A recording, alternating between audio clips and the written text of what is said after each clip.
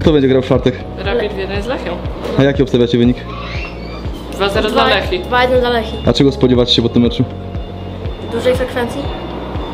Ponad 30 tysięcy kibiców przynajmniej.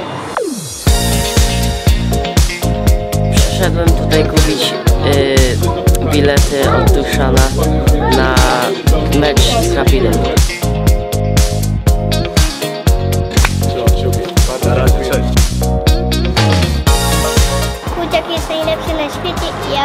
Uwielbiam i jak, jak, jak dorosnę to, to naprawdę będzie mi cieszyć, że, że będę mógł też trochę go oglądać, ale też będę grać.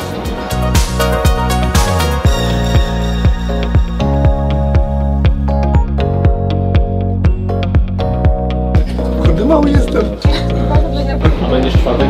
Oczywiście, już bileciki są. Będę, właśnie zakupiłem bilet.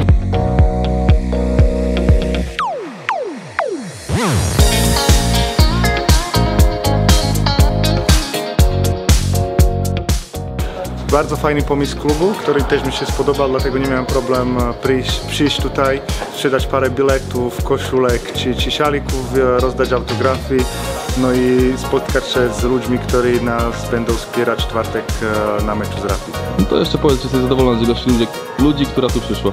No mało ludzi nie było, Em, powiem pozytywnie jestem zaskoczony, że jest takie zainteresowanie i mam nadzieję, że dobijemy do tego 3 dychy na.